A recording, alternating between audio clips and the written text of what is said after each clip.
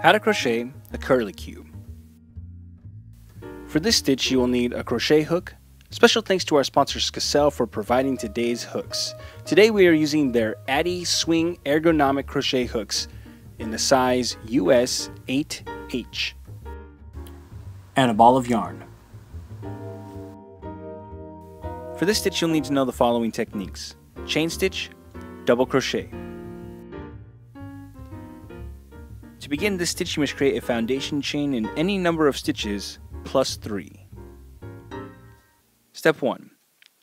Once we've created our foundation chain to the length that we want our curly curlicue to be, uh, and we've done our additional 3 stitches, we are going to do a double crochet into the fourth stitch in our chain. So we've got one, two, three, and we're going to go into the fourth chain stitch Okay, so those four chains that we skipped, or the three that we skipped, is going to act as a double crochet. And then we've created another one. For step two, we're going to double crochet again into that same stitch.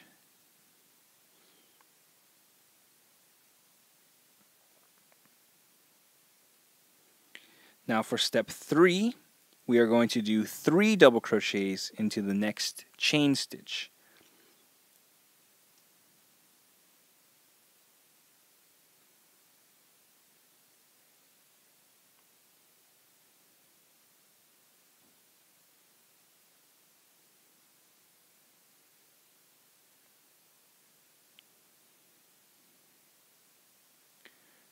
Alright, so now we're just going to repeat step 3 until we've worked each chain stitch in our foundation chain here all the way around.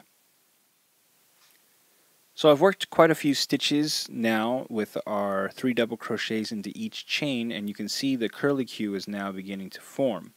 And uh, once we get this done it'll be great as a little accent on, uh, you can do it on a scarf or a blanket. Um, you can use it as a bookmark.